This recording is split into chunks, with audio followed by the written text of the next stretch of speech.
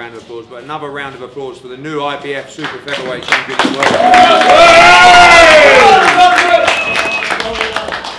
You know, I think uh, sometimes you can fiddle your way to a world title, you can get a close decision, but the way you announce yourself on the world scene is just to produce one of the best knockouts I think we've ever seen li live.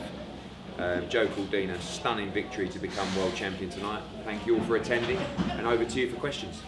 You've made history for, for Wales tonight. You joined a very, very illustrious group. Try and put it into words for us.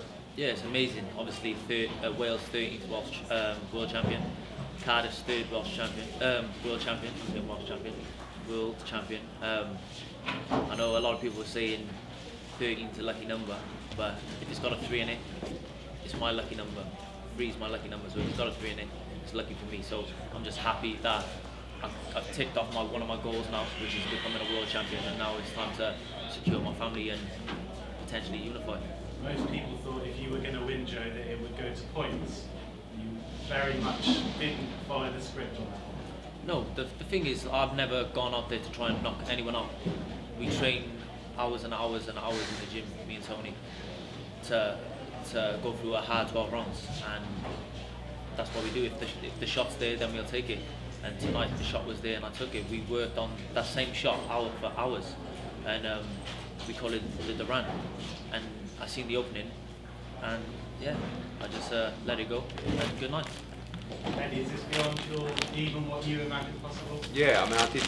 You know, I, I, said yesterday that I just had a feeling that Joe would win this fight by stoppage, but not like that. Not in the second round. You know, the first round was quite a close round, but you could see how strong Ogawa was, and I, I felt like Joe actually, you know, needed that round to settle down because the atmosphere, he's never experienced anything like that. I know he's boxed at Millennium Stadium and stuff like that, but that was a, an incredible atmosphere. And once he settled down in the fight, you know, it was just his patience, his timing, and you know what these guys have been working on for a long, long time. And like I said, there's different ways to win a world title. You see the numbers virally for that knockout now all around the world. That's that's how you become a star.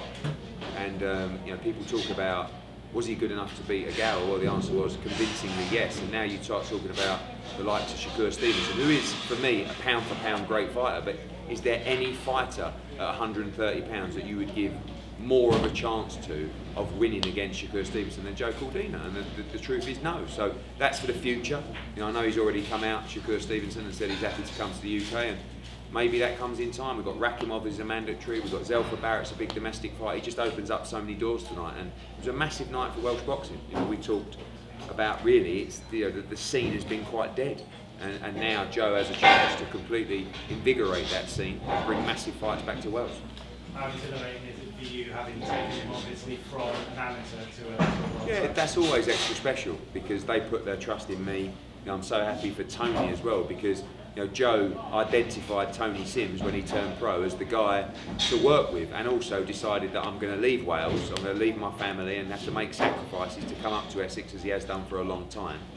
Um, and you know, he's had, it's, it's not been plain sailing for him. He's never really had the chance to build his profile because he's been inactive. He had that year out in the middle.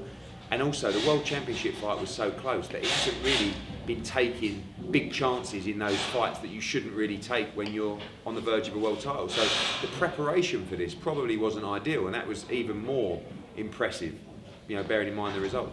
So you said before, all I want to be is a world champion. I'm not interested in being famous. That that punch is going to make you famous. Yeah, I, I know, I know that. Well, it, top and bottom of it, it is. I'm. That's not me. You'll probably catch me walking in town tomorrow, going doing a little bit of shopping. And if anyone wants to stop me and this, yeah, I'll take photos and all that comes with it. But for me, it's not about the fame and um, being a celebrity and all that sort of stuff. That's not me. Um, I'll probably beat my mum tomorrow. I was smoking a cigar or something like that outside my mum's front garden um, where I don't drink. So uh, yeah, I just wanted to be a world champion. I've ticked that off now, and now it's time to secure my family. Tempted by the football tomorrow, because I'm sure they'd like to I'm, get you I'm there. going. I'm going anyway. They they've sorted me tickets. Um, big thanks to JD. They've sorted me uh, tickets, and uh, it just it's a shame that obviously I've got to give this back to Ogawa, so I'll be walking out on the pitch. I'm sure. Congratulations. Thank you. Joe, we've seen you so calm, focused and composed all week. Finally lost the cool when the referee waved it off. Can you put into words what was going through your mind then? Mm.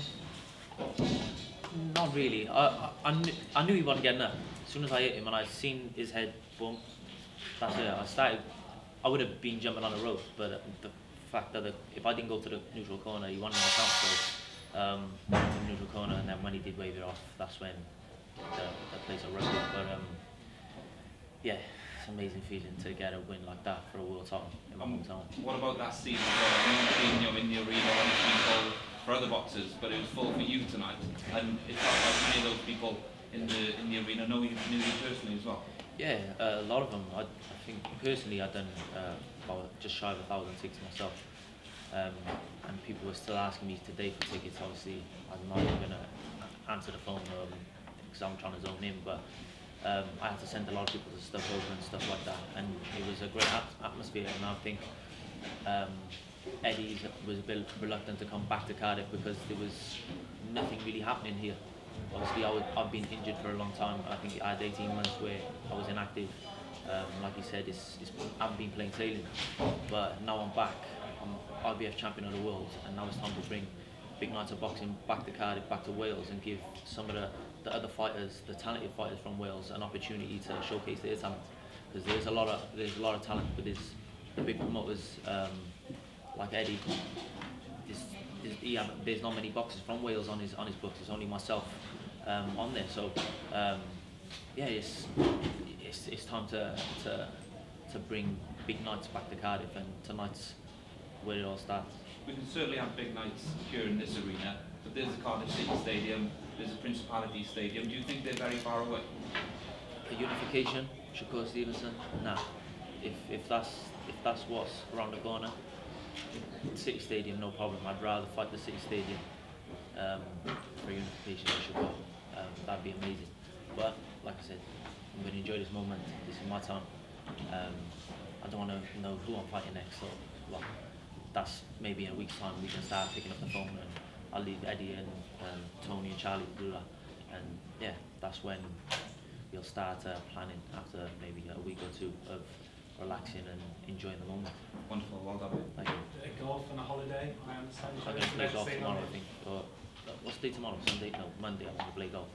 And then I'm going to uh, go on a holiday, take my missus away because I missed her 30th birthday. I have to take her to, I was in camp actually for her 30th, and her, her birthday was on the 21st of, of May, which is when Guati inspired her. So her birthday present was coming to London and watching Guati inspired her. So, um, yeah, so I'm going to take her away somewhere, somewhere nice and just have a little relax. Celebrate your own 30th birthday as well. Yeah, because I missed that also um, in December fighting. Yeah. Joe, how much credit do you want to give to your mum and uh, Tony Sims? Listen, everything. He I've owes done me a pair of boot on shoes. I've already asked her to, to see if they got your size. They haven't got your size. so um, yeah, he, listen, everything. He knows how hard I work, but he pushes me to the limit, and he makes sure I do everything. He don't he don't feel sorry for me one bit when I'm tired. He makes sure every box is ticked, and tonight it's all down to him. Obviously, I go in there and do the bits, but he's he's the man that sets the game plan and puts me through my paces. And that shot I hit him with tonight, we've been working hours and hours and hours in the gym on that shot. So for me, I've just thanked Tony. I'd like to shake his hand. He's a great man. Um, obviously, my father, he lives in Malta, and when I'm um, in camp, he's like a second father to me. I live with him, and um, yeah, he's a great guy. He looks after me. He gives me not just obviously advice on the boxing and stuff like that, and how but he uh, advice how to live my life. And um, yeah, he's a great man, and I'm just happy and grateful that I'm in the stable with him, and he's uh, he's backing me. Eddie normally of promises fights, Rolexes once in a row. So was I've there already First thing he said said to me. Yeah. want the- the first thing he said well, to me. I know he does Sky. He, he's been doing Sky Dweller, so I said I'll have the chocolate one. Okay. But he can, he can, Seen the he can prices of them lately as well. That was the first. that was the first thing out. No, of his first I, mouth. would- I thing. wouldn't mind the Patek because I've, I've got a few Rolex myself. Oh, have you? Oh, I, I, right, Love okay. a Patek. Yeah. It's the first thing he said. Joe, you've done it. He said, I'll have the chocolate dial. I will make it back up on the next one. You'll get the money back. But um, yeah, I just listen. I'm, I want to thank Eddie, um, DAZN, Matchroom, for getting this fight over the, over the line, and the same Charlie also for um, sealing this fight.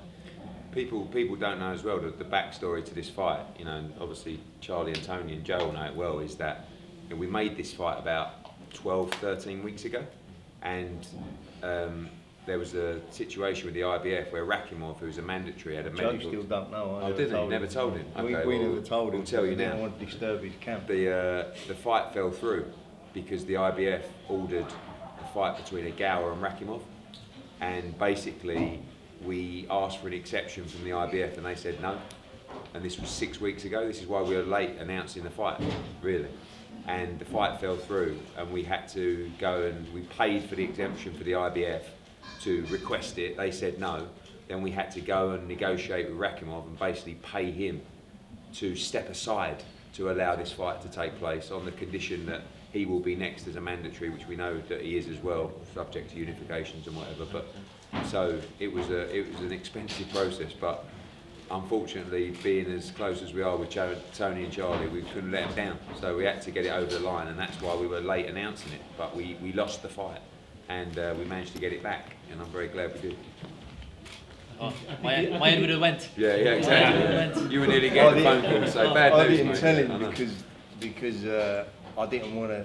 I'd rather tell him it 100% ain't Yeah. off than tell him like all through. He'd already done like six, seven, eight weeks through camp. I just didn't want to tell him, so it was an hard secret to keep away. But obviously, and all- Eddie and talk, Eddie was talking to Charlie, and like what Eddie said there. You know, he's done unbelievable getting this fight together because up until say four or five weeks ago, it weren't going to happen. And I said to Tony and Charlie at the time, obviously, the money that I'm spending to pay Rakhimov to step aside will, would be the, the Rolex. So the next thing, don't think that you got away with that, mate. You'll make that up on the next one. don't worry about that. Joe, you're a proud family man. Uh, the first round was quite tough tonight, but you came through. Uh, what what would you want to use that moment to teach your kids at home? Listen, my kids don't watch me fight. I won't let them watch it. It's, it's not that. I don't want them to see anyone hitting their father or getting upset. It's not. It's not what I want. Like maybe, like tomorrow, I'll let them watch it. But to, to be honest, I don't want them watching me fight. It's. Um, I just want to keep them away from that. So yeah, it's, it's. It'll be nice for me to. Obviously, I can't take this home with me. But when my belt arrives, it'll be nice to present him with the belt and they just look at it, probably hold it once or twice, have a photo with it, and then just chuck it on the floor. Um, so yeah, it, it'd be nice, but yeah, I, I try and keep them away from, from the boxing. And you deserve to celebrate this victory, but we always look ahead. Um, Zelfa did his job tonight. If you if that fight does get made, we were thinking Manchester Arena is quite big. Would you go to Manchester for that? Manchester, uh, in, less, and you can play me over a million pounds. Yeah, but listen, it's my night. I'm the champion. I'll do what I like now. So yeah, Manchester Arena's big, but um, so is Cardiff City Stadium.